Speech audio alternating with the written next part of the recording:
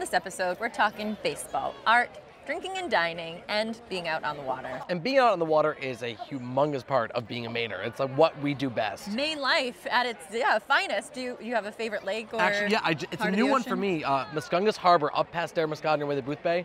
Um, it it feels like a lake, but it's you're on the ocean, and it's just it's clean water. It's so just quiet.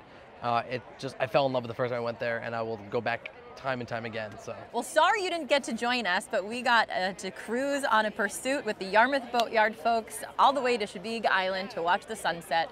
Take a look.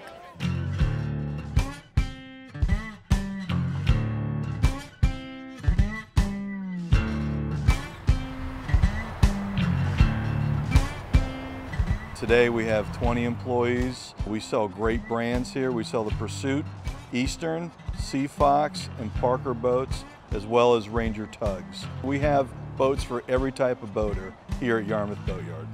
We service everything we sell, from fiberglass work to paint jobs on boats to repowering your vessel. We have a great team here at Yarmouth Boatyard. A lot of the team members have been here for a long time. There's a very good community here and very good employees. You're going to meet Captain Jack very shortly. He's been here for close to five years now, and he's brought our sales department to a new level. Hey, Steve. Hi, Hey, Erin. Captain Jack. Erin, how are you today? Uh, Welcome. couldn't get better. Beautiful Um, day today. Yeah, beautiful pursuit. Yeah, this is 26 center console, twin 200 Yamaha engines. Great for fishing, great for cruising, great for picnicking. Yeah, all the above. So let's go. Let's do it. Let's go. Let's go. Let's fire her up and see I what can we be your can find. skipper. There you go.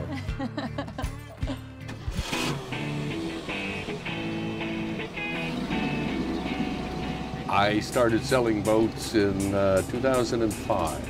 Uh, mo- met a lady, moved to Maine, and said, "What do I want to be when I grow up?" And uh, here's where I've ended up.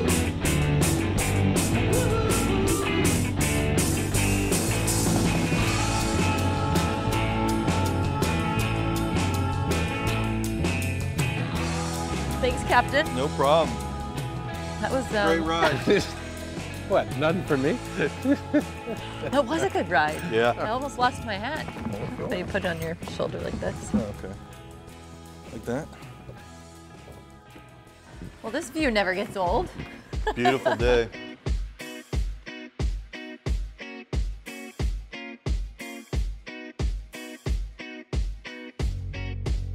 Hi, Tyrone.